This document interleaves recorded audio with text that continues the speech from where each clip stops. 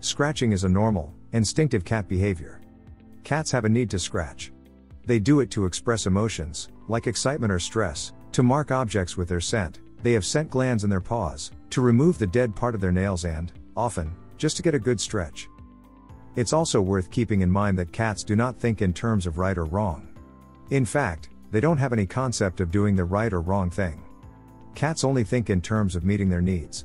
When a cat has a need to scratch, the answer to the question, where should I scratch? Is not what do the humans prefer? But where do I prefer to scratch? Provide your cat with something to scratch that, from their point of view, is more desirable than your couch or the legs of your dining room table. Cats prefer to scratch tall, sturdy objects that allow them to dig their nails in and get a good grip. That's why cats tend to scratch furniture. Most cats prefer, even more than furniture, a scratching post that is at least 32 tall, will not wobble when scratched, and is made of a type of rope called sisal. Some cats prefer to scratch horizontally, in which case you can either place the vertical scratching post on its side or find a sturdy sisal covered horizontal scratcher. Some cats like scratching corrugated cardboard as well. Another ideal scratching surface is wood, so if you are handy you can create your own scratching post or pad. Just make sure it's tall or long enough and sturdy. Place the scratching post in a location where the cat wants to scratch. If your cat enjoys scratching the couch, place the scratching post next to the couch. If your cat enjoys scratching the wall by your front door when you come home, place the scratching post near your front door. Location matters. Introduce your cat to the scratching post. You know that you have the best scratching surface for your cat, but your cat doesn't know that yet. The easiest way to introduce your cat to the post is to play with them around the post, for example, using a fishing rod toy or laser light, so that in the midst of play they will interact with the post.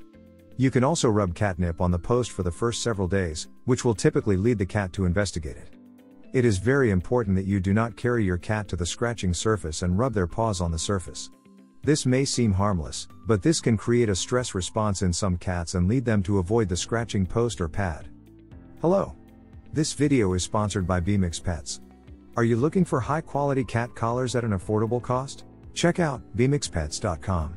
Use coupon code KittenLife to get 20% off.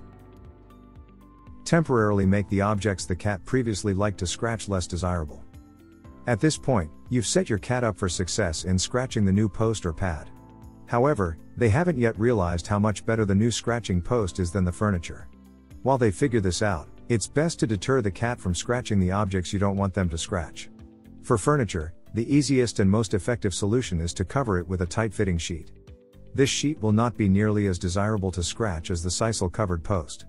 For smaller surfaces, you can utilize double sided sticky tape or any other item that will make the object's surface sticky, smooth, or slick. Your cat will not enjoy trying to dig their claws into any of these surfaces. Once your cat is consistently using the scratching post slash pad, you can remove the covering from the previously scratched objects. If you enjoyed this video, kindly press the like button. Also don't forget to subscribe with notifications on, so that you don't miss out on videos like this. Thank you for watching.